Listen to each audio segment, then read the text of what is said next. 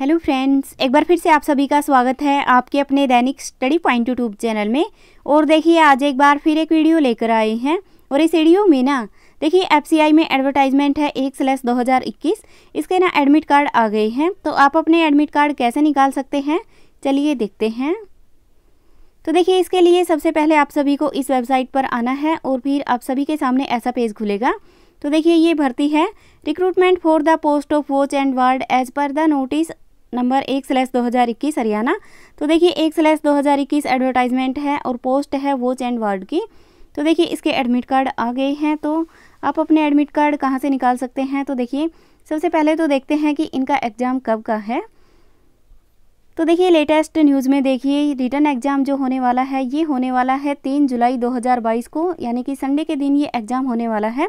और देखिए, अपने एडमिट कार्ड निकालने के लिए कहाँ पर लॉगिन करना पड़ेगा? तो देखिए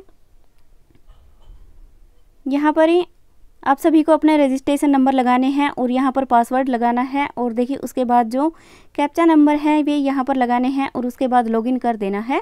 तो देखिए फ्रेंड्स यहाँ से आप अपने एडमिट कार्ड निकाल सकते हैं और देखिए इसका लिंक ना मैंने डिस्क्रिप्शन बॉक्स में भी दे दिया है, वहाँ पर जाकर भी आप अपने एडमिट कार्ड निकाल सकते हैं।